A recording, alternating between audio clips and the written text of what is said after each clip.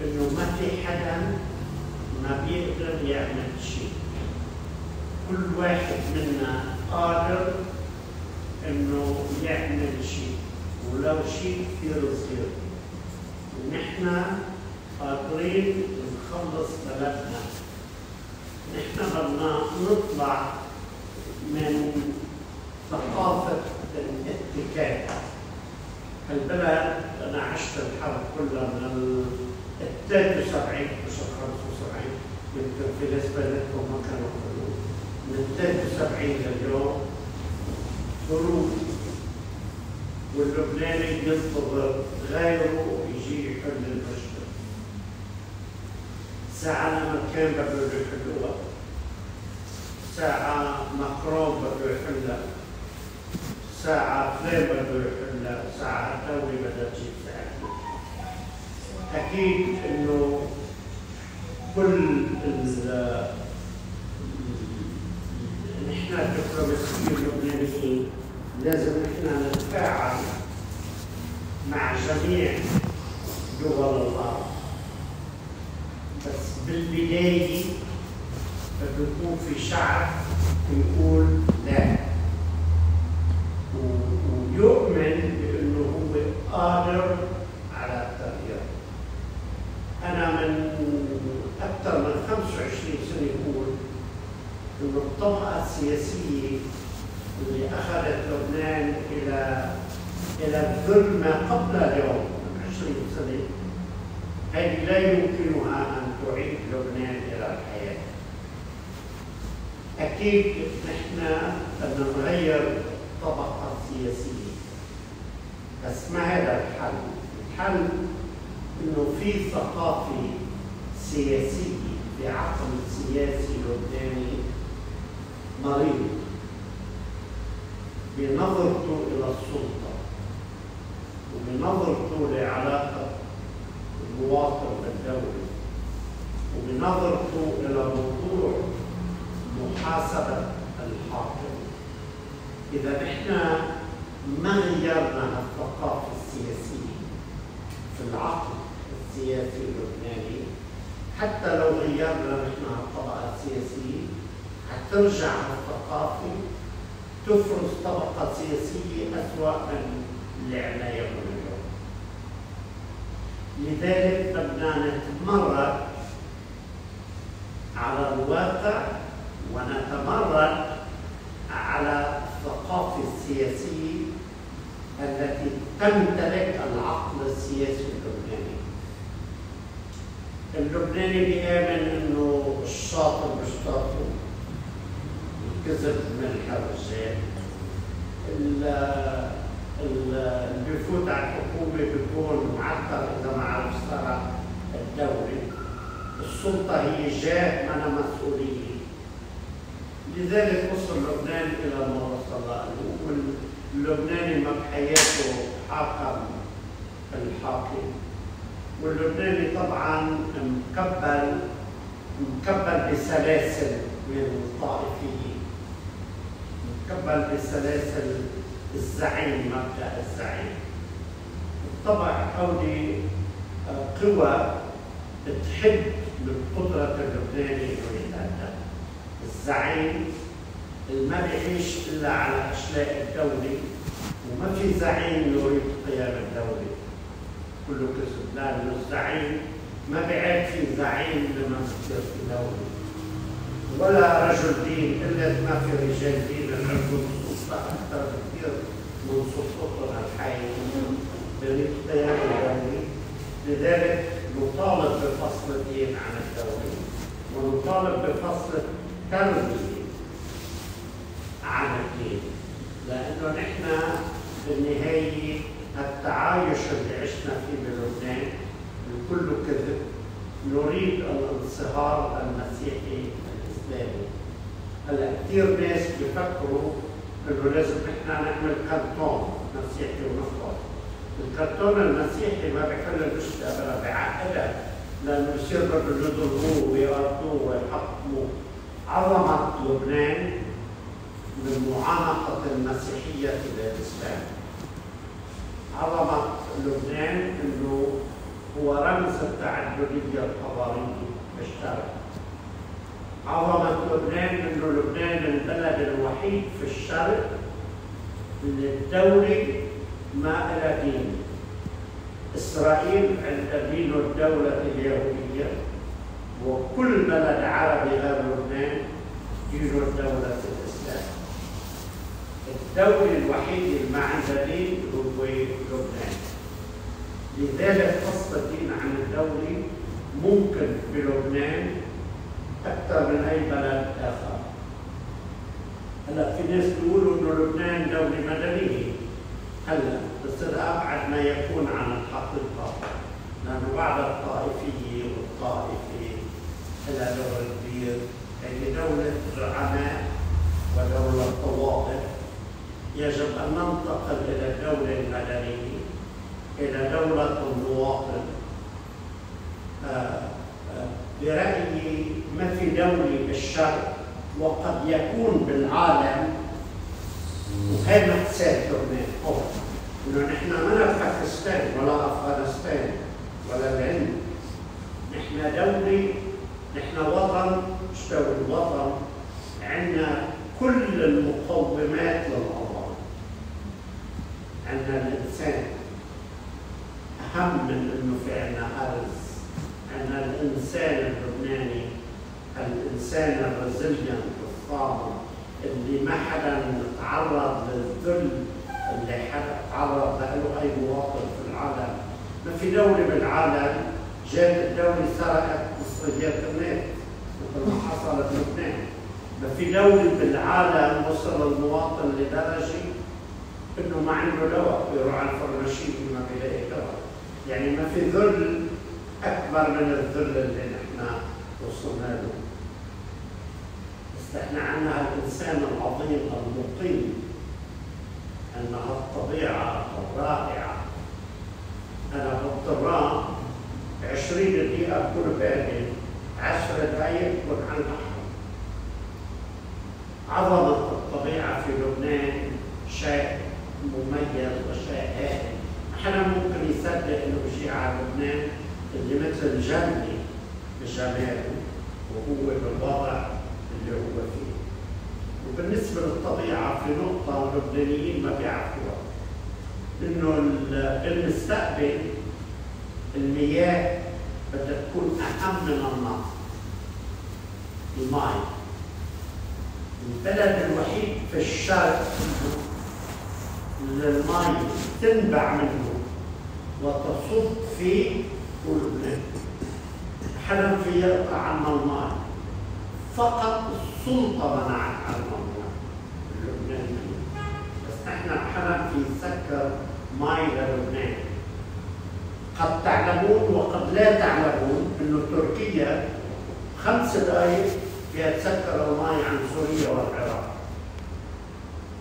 خمس دقائق لأنه عندها القدره إسرائيل دائما تريد أن تكون على علاقة مميزة. لأنه تعرف قوة تركيا لأن تركيا إذا ما نفع الحوار مع مع سوريا وإسرائيل سوريا والعراق سكروا الماء بيرجعوا نحن حرم في سكر الماء إسرائيل ما عندها ماء العالم العربي ما عنده ماء نحن عندنا ماء آه، أكثر بكثير من ما نحتاج. إحنا فينا نصدر ماء إلى العالم العربي وإلى باقي العالم. ولكن للأسف الماء تبعنا بتروح هدر إلى البحر لبنان عنده الإنسان عنده الطبيعة عنده الانتشار اللبناني.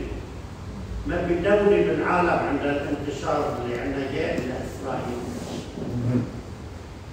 والفرق بين الانتشار اللبناني والانتشار الإسرائيلي إنه الانتشار الإسرائيلي موحد.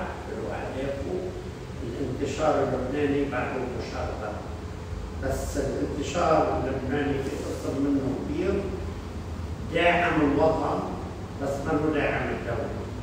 وما حدا لازم يدعم الدولة؟ أنا دولة هذا شيء فولكلوري في الرصوص قاعدين بالسلطة عم يسرقوك ويسرقوا كل شخص ويذلوه. ما في ما بقدر شخص إنه في وأنا بعرف معظمهم ما فيني شخص إنه في مسؤول آه، دخل آه، على السلطة وكان همه همه لبنان. كل واحد همه مصلحته الشخصية. عندنا الانتشار اللي هو النفط الحقيقي للبنان.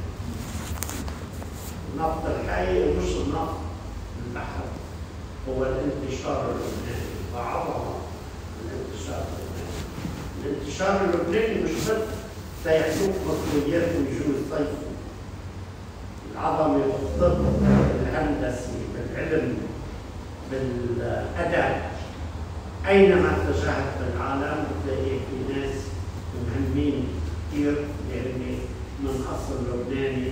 وقلة ما في انتشار لدوله الشعب بحب قد ما بحب لبنان كلنا معلقين بهاللبنان بهالقرى بهالضياع اللي نحن جينا منها so, لبنان عنده الإنسان عنده الطبيعة عنده الانتشار وعنده التاريخ.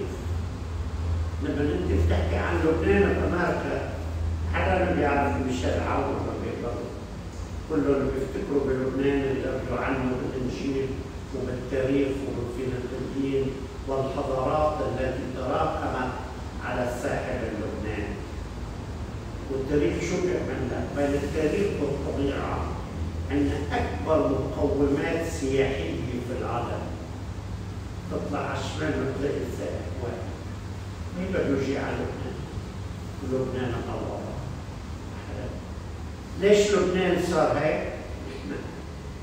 مش غيرنا جا الفلسطيني دلينا ندعم فيه ونسيره تقام بده بلادنا معهم فلسطين إحنا جبنا السوري استقوينا بالسوري تيتسلقوا على السلطة.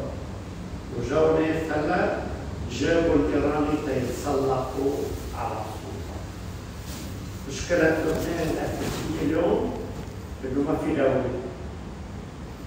تصدقوا انه في دوله في رئيس جمهورية بيستقبل وولاء وواحد بس القرار من بإيده.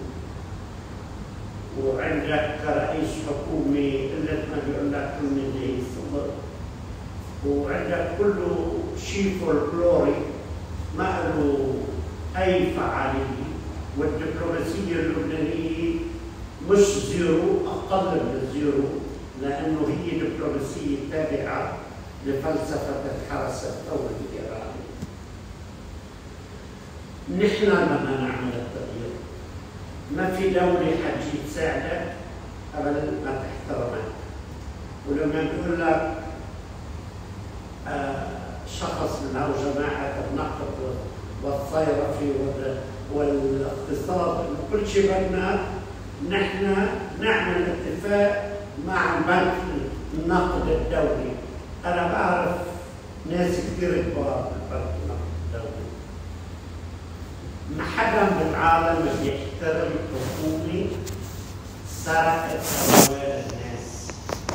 الاحترام للبنان ما بيجي بالاتفاق احترامنا للبنان انه كيف نحن لبنان يلتزم بالاصلاح أي إصلاح؟